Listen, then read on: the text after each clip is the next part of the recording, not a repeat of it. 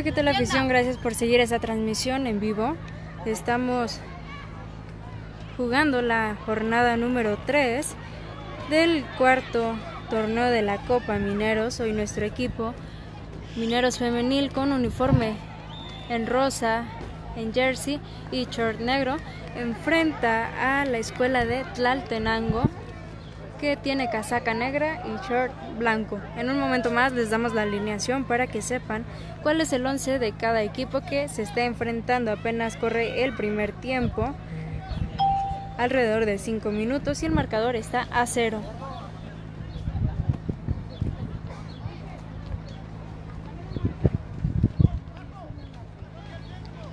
Y ya viene llegando aquí con nosotros Jair Villalpando, quien nos trae las alineaciones de ambos equipos. Hola, ¿qué tal? Muy buena tarde. Gracias a toda la afición por seguirnos a través de las redes sociales en esta transmisión de Facebook Live. Mineros eh, Zacatecas Femenil y Mineros eh, Tlaltenango disputando la tercera jornada dentro de la cuarta edición de la Copa Mineros en esta edición 2018. Y bueno, en la categoría femenil libre les comparto lo que será eh, o lo que están utilizando como 11 titular ambas escuadras. Por principio de cuentas, Tlaltenango que viste con casaca negra. La portero es Jessy Vidales, acompañada en la saga central por Karina Vidales, además de Jessica Alejandra, Noelia Quiñones, Estivalis Santillán, Lupe López, Margarita Flores, Alondra Domínguez, Gabriela Luébano y Daisy Ramírez, además de Yareli Castro. Este es el 11 que mandó al terreno juego el profesor Toño de Talterango. Bien, y ahora damos la alineación por parte de Mineras eh, de Zacatecas, que viste en rosa, jersey rosa y short negro, además de calceta blanco con rosa. El 11 que mandó fue en la portería Carolina García, acompañada de Paola Guerrero, Ailín Bautista, Alondra Rodríguez, Monse de Ávila, eh, María José Escareño, Aurora Rosales, Joana García, además de Itali Aro y la capitana Esperanza Díaz Mota, además de Nigde. Ah, no, perdóneme usted. Finalmente sería Nicole Guzmán Gurrola, si no mal recuerdo. Sería la última jugadora. Pues ahí está. Ambos 11 que están utilizando. Gracias a todas las personas que ya nos empezaron a escribir aquí sus saludos. Ana Grisel, ¿quién ganó el partido anterior a este? Eh, lo ganó el equipo de Guerreras, eh, Balón Rosa. Eh, ganó 2 por 0, si no mal recuerdo. O hasta ahí me quedé, iba 2 por 0, pero ganó el equipo de Guerreras. Jesús, ¿cómo va el partido? Saludos. El partido al momento todavía se encuentra con marcador en ceros. González, saludos. Manita arriba, muy bien. Jesús, hola Lari, nos vemos en la Copa MX contra León. Es correcto, el martes de la próxima semana ya iniciamos la Copa MX, nos toca la primera jornada en casa.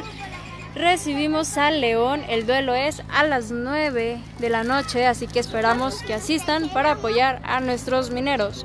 y el viernes precisamente contra Celaya, partido de la Liga de Ascenso, la jornada número 2 a las 7 de la tarde.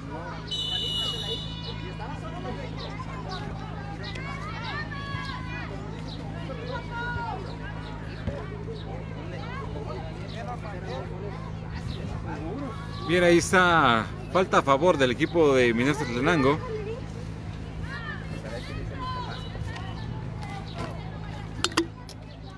Ahí irá a cobrar la número 8, la señorita Estivaliz Santillán. Será la responsable de cobrar este tiro libre. Hace el batazo al árbitro. Allá viene el tiro cerrado. Y ahí está bien nuestra guardameta que se te echó. Y ahí hay una mano muy clara por parte de Margarita Flores. Que la inercia la llevó a meter la mano. Y bueno, se está llevando una tarjeta amarilla. Tarjeta amarilla para Margarita Flores, eh, quien viste casaca negra con el número 11. Acá viene ya saliendo el equipo de Mineros Femenil por toda la banda. Tratan de buscar a Londra Rodríguez, pero hace un buen trabajo y recupera bien. Ahí está de nueva cuenta el balón y parecía una buena aproximación, pero el árbitro central de este cotejo marcó falta.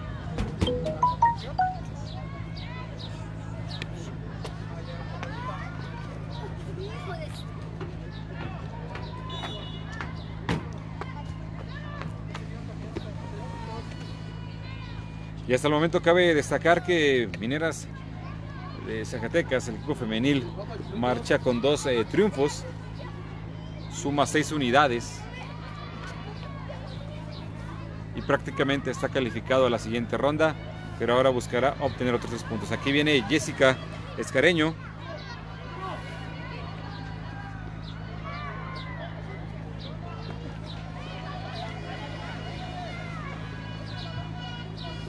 Daniel, que nunca falta en nuestras transmisiones desde Querétaro. Saludos, Luis Daniel. Pati Jaro, saludos desde Los Vela, Momax, Zacatecas. Saludos, un abrazo. Dani, besos, un abrazo fuerte. Tira Alfaro, saludos a Tira Alfaro. Nos pregunta Arteaga Villarreal Eduardo, ¿cuál es eh, la banca de Mineros Tlaltenango? Te la platico. Está en la banca Jessica Álamo y Lisbeth Rodríguez. Son las dos posibilidades de cambio que podría utilizar el cuerpo técnico.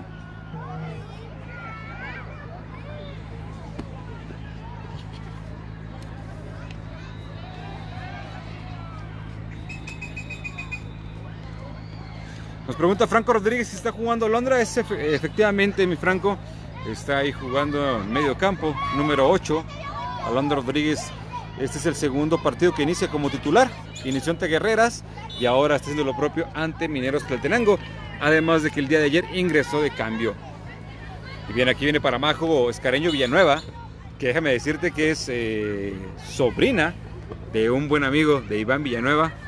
Ahí está Majo Escareño Villanueva, que viene una buena aproximación por toda la banda.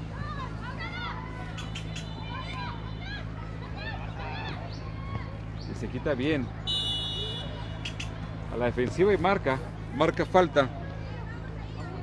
Aurora Rosales hizo un buen quiebre y ahora tiene, gracias a esa habilidad, una oportunidad para Zacatecas.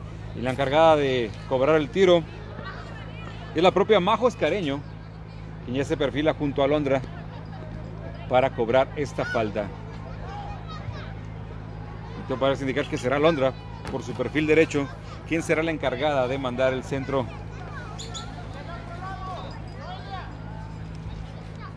Un aspecto en el que el equipo zacatecano se ha destacado al anotar desde esta instancia. Y acá viene el centro, viene a primer poste y buscaba Majo, ahí queda el rebote.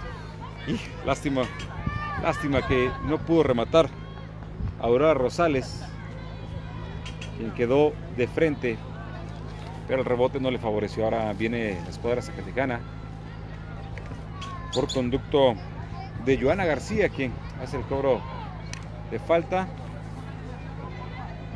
Acá viene de a poco el equipo. Mick de Gurrola estaba buscando también por ahí la esférica.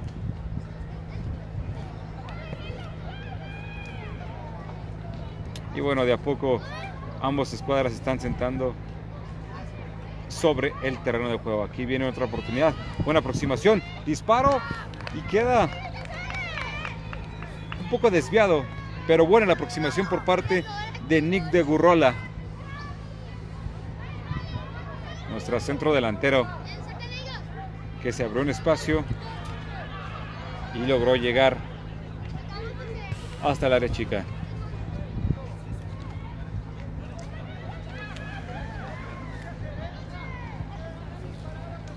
Gracias por seguir escribiéndonos. Martín Rodríguez, que dice saludos desde Juchipila, Zacatecas. Un abrazo fuerte hasta allá. Arteaga Villarreal, Eduardo, gracias. De nada, cualquier duda que tengan aquí, escríbanla y nosotros se la resolvemos. Alejandro, saludos para Ailín Maldonado desde Río Grande, Zacatecas. Muchas gracias por el apoyo y a las familias que nos permitieron a sus hijas para conformar este gran equipo que es el de Mineros Femenil.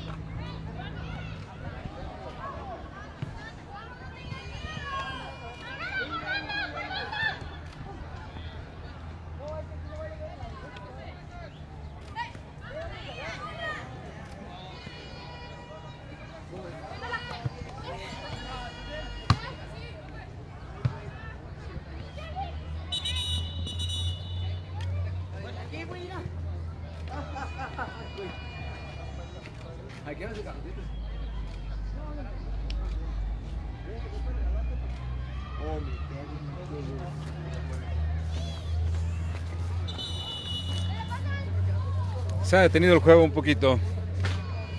Entran las asistencias médicas para checar a una jugadora de Mineros de Zacatecas femenil. Y bueno, ahorita en un momento les digo quién, quién es la que está sufriendo ahí. Pero que a la distancia parece que todo está bien.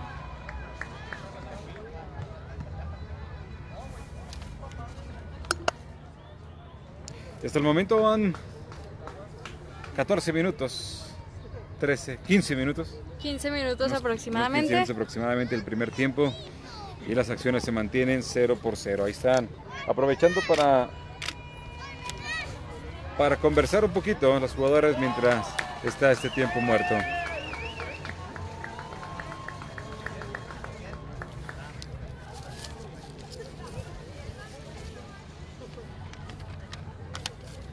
Bueno, ya estamos viendo que es Alondra Domínguez la que resultó una pequeña lesión, pero bueno, al parecer todo está bien y ya logró recuperarse. Se reanudará el partido con bote a tierra. Y bueno, por supuesto también agradecer a, a este cuerpo de emergencia que siempre está presente para ayudar a nuestros jugadores. Aquí está Majo Escareño, regresa al balón.